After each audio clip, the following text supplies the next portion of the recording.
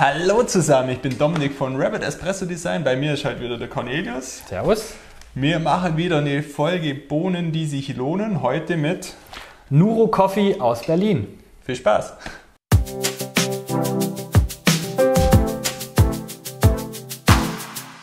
Wir haben schon länger keine Bohnen, die sich lohnen Folgen mehr gemacht.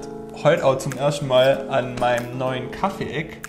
Ähm, wir filmen heute einmal Nuru Coffee äh, aus Berlin und dann natürlich den Wilde 13 aus Freiburg. Wir haben euch Wilde 13 oben verlinkt. Ähm, und der Cornelius hat uns Nuru Coffee mitgebracht. Cornelius, erzähl mal, was ist denn das für ein Kaffee? Woher hast du den? Ja, ähm, ich bin ein Podcast-Hörer. Ich höre viel Podcast und natürlich auch gemischtes Hack. Und da gab es dann eine Folge mit der Sarah Nubu, fünf schnelle Fragen an. Die habe ich gehört und da, Verlinken wir euch. und da wurde eben Nubu Coffee vorgestellt und daraufhin habe ich dann einfach mir mal eine Packung bestellt zum Probieren. Natürlich bewerten wir den Kaffee wieder die Rösterei, die Verpackung und natürlich das Wichtigste der Geschmack. Einmal wir zwei und einmal unser imaginärer Italiener, der es gern dunkel mag und unser imaginärer Hipster, der es fruchtig äh, Third Wavy Grill. Cornelius, Sarah Nuro kennen ja die einen oder anderen von euch noch aus dem Fernsehen. Die hat jetzt zusammen mit ihrer Schwester Nuro Coffee gemacht. Was ist denn das Konzept dahinter? Ja, genau. Also die Familie kommt ja ursprünglich aus Äthiopien und Äthiopien ist ein wichtiges Kaffeeland, eines der wichtigsten der Welt. Und dann ähm, haben die zwei da angefangen, eben Nuro Coffee zu gründen. Und der Hintergrund ist auch, dass sie ganz gezielt mit, mit dem Geld, das da auch gewonnen, mit dem Gewinn, äh, Frauen in Äthiopien unterstützen. Also es ist so aufgebaut, dass praktisch die von kleinen Kooperativen den äh, Kaffee äh, fair gehandelt praktisch beziehen und die Hälfte des Gewinns, aber mindestens ein Euro pro Kilogramm, geht wieder in diese Stiftung oder in diesen Verein, womit die Frauen dann gefördert werden. Genau. Genauere Informationen findet ihr auf der Webseite und hört euch auch gerne die Podcast-Folge an, da wird das alles super erklärt. Die erklärt es da ganz gut, genau. Okay, Röstereibewertung ist ein bisschen schwierig bei dem Kaffee, weil die rösten den gar nicht selber Genau, die beziehen den, lassen den in Berlin rösten, und vertreiben den nur. vertreiben den. Ähm, deshalb würde ich auch sagen, die Rösterei kann man nicht wirklich äh, bewerten. Das Konzept dahinter ist gut. Lassen wir heute die Rösterei-Bewertung, würde ich mal sagen, raus. Ähm, eben Konzept cool. Unterstützt man bei, beim Trinken äh, ein soziales Projekt. Ist doch Genau, auf jeden Fall. Gute Idee. Gute Sache. Gehen wir weiter. Cornelius, dein Part, die Packung. Ja, die Packung ist ganz schlicht in schwarz. Äh, Pepper drauf, Schönes Design. Genau, schlichtes, schönes Design. Ähm, hier steht drauf, was für eine Bohne, Organic. Ähm, hinten findet man ein paar Informationen zu der Kooperative selber. Ähm, hier, Verfallsdatum. Äh, was leider nicht ist, die Verpackung ist nicht wieder verschließbar, was ich immer sehr gut finde. Ähm, und es stehen auch keine Informationen jetzt zum Geschmack an sich. Also, Also wie wie Kaffee, was also das eigentliche Produkt, für was ist der Kaffee gemacht? Wir gehen jetzt davon aus, es steht Espresso drauf. Die Ja, haben zwei verschiedene, haben sie glaube ich. Es gibt einen Espresso, genau, und es gibt einen normalen Kaffee. Ich gehe jetzt mal davon aus, dass man einen Siebträger nehmen soll und vom Geschmack her steht jetzt auch nicht wirklich was drauf. 100% Arabica. Ich gehe jetzt einfach mal davon aus, dass das Verfallsdatum unten ein Jahr davor die Röstung ist. Genau. Der war relativ frisch geröstet, ist der kommen. Ähm, Ja. Also von, von der Qualität her, vom Abröstdatum ist ganz gut. Genau. Ja, Verpackung, ich gebe drei Kaffeebohnen, wie gesagt, wieder verschließbar wäre super und ein paar Informationen. Zum Kaffee wirklich Genau. ganz cool, ja. Aber das Wichtigste ist natürlich wie immer. der Geschmack. Haben wir auch keine Informationen, ähm, wie Sie das machen würden, wie Sie den aufbrühen würden. Wir haben uns dazu entschieden, 18 Gramm, zwei Espressi, ähm, 25 äh, Sekunden Durchlaufzeit und sollten in dem Fall zwei Espressi mit 25 Milliliter oder 25 Gramm draus werden. Schauen wir mal, wie das funktioniert. Probieren wir. Probieren wir. Also wir schauen wieder, dass wir natürlich einen schönen sauberen Siebträger haben.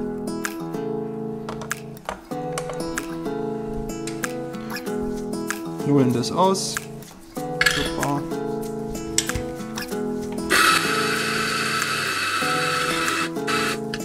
Meist Wiegen ist es einfach erst mehr reinzutun und das dann rauszunehmen.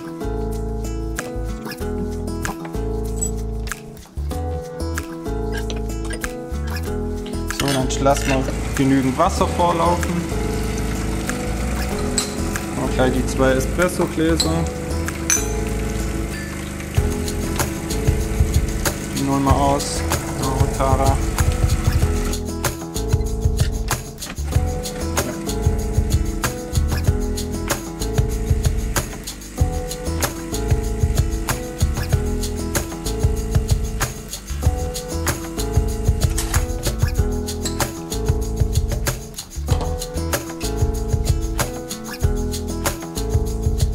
Ich würde mal sagen, Punktlandung.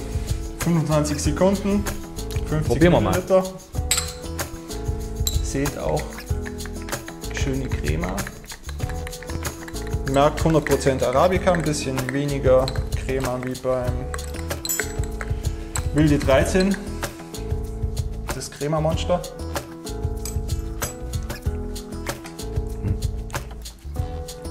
Sehr kräftig, dunkel. Oh ja.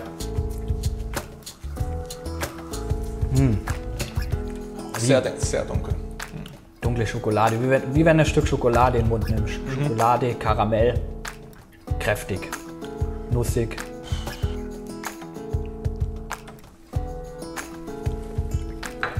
Fast keine Frucht, also keine. Sehr wenig Säure. Sehr Frucht. wenig. Ganz, ganz leicht im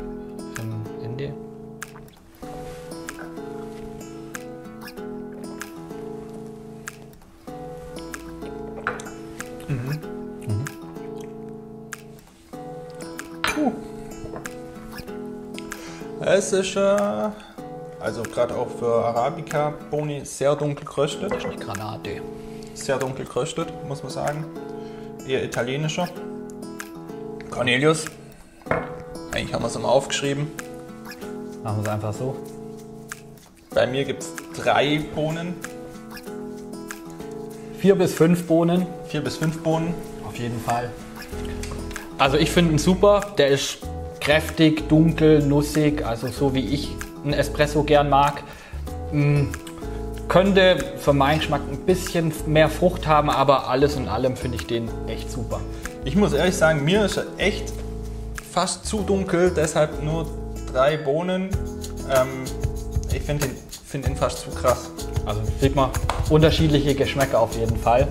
Ähm, äh, der Italiener, Der Italiener, der mag den, der steht da voll drauf, auf fünf- jeden Fall. Fünf Bohnen. Der gibt den fünf. Der Hipster, eine bis zwei. Dem ist das auf jeden Fall zu kräftig. zu kräftige. Find, also f- eben für meinen persönlichen Geschmack ist er ein bisschen zu dunkel. Aber am zu besten schokoladig. probiert ihn selber. Kein schlechter Kaffee auf jeden Fall, muss man sagen. Also kann man auf jeden Fall mal bestellen und mal ähm, die Nuro Coffee unterstützen. Wer es gern dunkel und kräftig mag, sowieso. Auf jeden Fall.